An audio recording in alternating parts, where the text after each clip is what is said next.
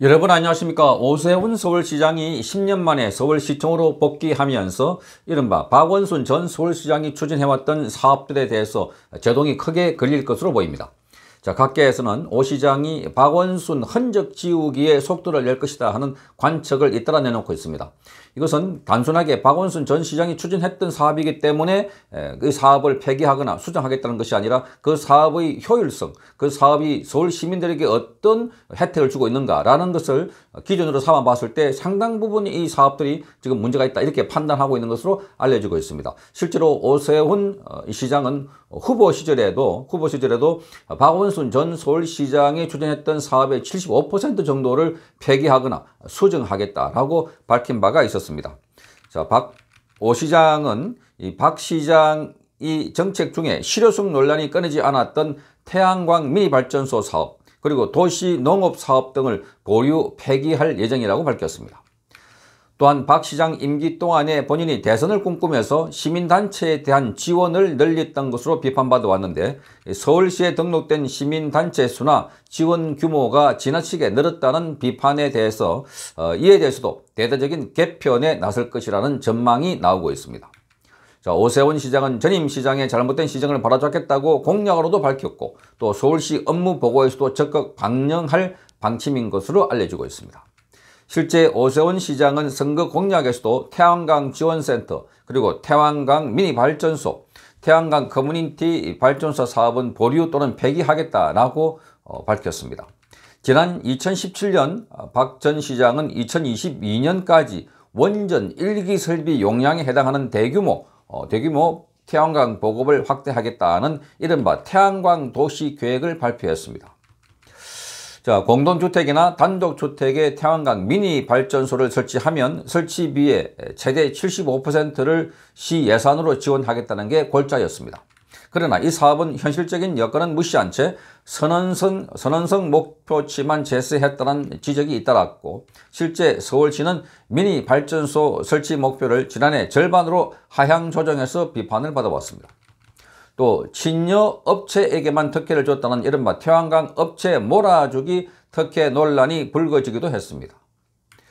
자, 아울러 오 시장은 미래 도시 농업 육성 그리고 서울 농부 등록제, 도시 농업 체험 공간, 어, 도시 농업 공동체 등 도시 농업 사업의 보류 폐기를 요구했습니다.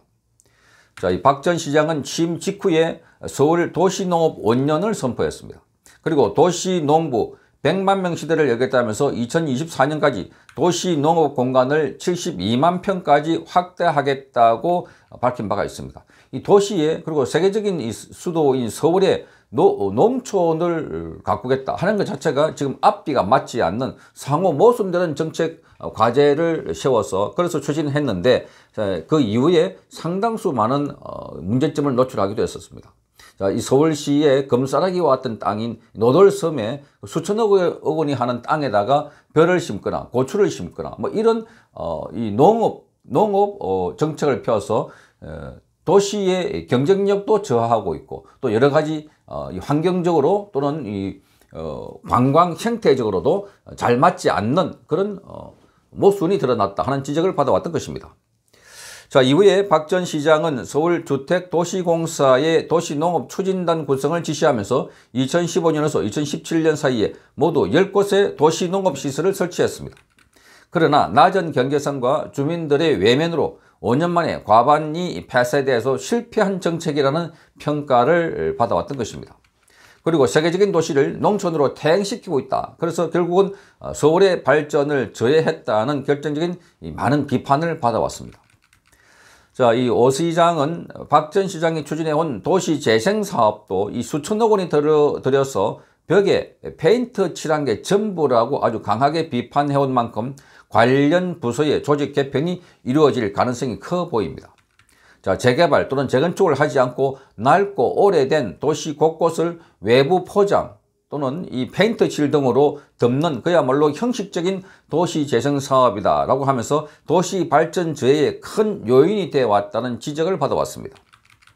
자, 오세훈 시장은 도시 재생본부의 기능을 축소하는 대신에 인허가를 담당하는 도시계획국과 그리고 주택국을 통합해서 시장 직속 어, 주택도시본부를 만들겠다고 예고한 바가 있습니다. 자, 오세훈 시장은 박전 시장의 중점 추진 사업인 시민수기 예산제, 그리고 서울민주주의위원회, 정책 참여 플랫폼 민주주의 서울 등도 정리에 나설 것으로 보입니다. 자, 이들은 명칭이 아주 그럴듯하게 보이지만 그러나 효율성이 낮고 낭비적인 요소가 많다는 지적을 꾸준히 받아왔습니다. 자, 이와 함께 일각에서는 박 전 시장의, 박 전 서울시장이 재임한 지난 9년 동안 시민단체에 대한 서울시의 지원이 지나치게 많았고 또 시민단체 출신 인사들이 서울시 주요 직책을 대거 차지해서 졸속 시정의 원인이 됐다라고 어, 주장해 왔었습니다. 자, 최근 5년 동안 시민단체 공모사업 지원액은 3.6배 그리고 지원 대상 단체 수는 2.3배로 늘어났습니다. 서울시가 공모사업을 통해서 지원한 시민단체는 2016년 1,433곳에서 지난해에는 3,339곳으로 급증했습니다. 5년 동안 지원한 예산만 7,111억 원인 것으로 서울시 의원의 자료를, 인용해서 어, 매일경제신문이 보도하기도 했습니다. 아울러 1278개 했던 서울시 등록 시민단체는 2295개로 80%나 급증했습니다. 자, 이와 함께 서울시의 개방형 직원 채용이나 정무직에서 시민단체 출신을 대거 채용해서 시민단체가 서울시를 장악했다 하는 비판도 제기되기도 했습니다. 자, 이를 두고서 박 전 시장이 대선을 위해서 시민단체를 집중적으로 육성하고 지원해왔다 하는 비판을 받아봤던 것입니다. 자, 시사평론가인 이상희 세명대 교수. 이상희 교수는 오세훈 어, 이 시장과 아주 어, 척근인 것으로 이렇게 알려져 있는 인물입니다. 자, 오 시장은 이념적 문제보다는 실리에 집중하겠다는 신념이 강한 편으로 이런 그의 행보를 정치적으로만 해석하면 곤란하다라고 지적하면서 부동산과 코로나 방역 그리고 시민단체 관련 정책 성질은 어, 박전 시장 임기 10년 동안 시민들에게 얼마나 이익을 줬느냐 하는 그런 의문으로 시작하는 것이라고 설명했습니다. 이 교수는 이 시민단체 비대화 문제와 관련해서는 오 시장이 여권과 시민사회와 다소 마찰을 빚더라도 과감한 개선에 나갈 것이라고 내다봤습니다. 자, 박 시장이 본인의 대권을 염두에 두고 시민단체를 우후 죽순처럼 늘린 탓에 세금 낭비와 그리고 정책 모순이 상당하다는 비판이 많았다고 이 교수는 밝히고 잘못된 정책 개선 차원에서 이 부분은 충돌을 불사하면서도 정상화에 나설 것이라고 본다라고 강조했습니다. 자, 이 오세훈 시장의 임기는 앞으로 한 1년 3개월 정도 남았지만 아, 그가 할 일은 지난 9년, 10년 동안의 잘못된 서로 서울시정을 바로잡고 또 고치고 또 폐기하는 등 과감한 수술을 하면서도 이 서울시의 경쟁력을 키우기 위해서 어, 앞으로 서울시의 발전 목표를 정확하게 세워서 어, 이 추진하는데 여기에 달려 있고 특히나 지금 서울시가 당면하고 있는 것이 지금 주택난 어, 이 주택 문제로 인해서 많은 사람들이 고통을 겪고 있고 지금 어, 이 아파트 가격 등 부동산 가격이 폭등함에 따른 부작용이 곳곳에서 나타나고 있는 만큼 본인이 주장했던 이 스피드 어, 주택 공급, 주택 공급을 민간 부분에서 아주 획기적으로 지원하고 또 지급하겠다. 어, 공급을 할 수 있도록 하겠다 하는 어, 정책을 펴고 있어서 이 부분에 많은 정책적인 어, 노력을 기울 것으로 보입니다. 그러나 오세훈 시장의 정책 이 과제가 지금 상당 부분 박원순 전 서울시장의 정책들을 폐기하거나 또는 수정이 불가피한 만큼 자, 이 서울시 의회를 포함해서 상당수 지금 반대하는 세력들이 많아서 그, 그래서 오 시장은 앞으로 이런 시정을 펼쳐나갈 때 선택적이고 또 전략적인 방법을 통해서 진행할 것으로 이렇게 보여집니다.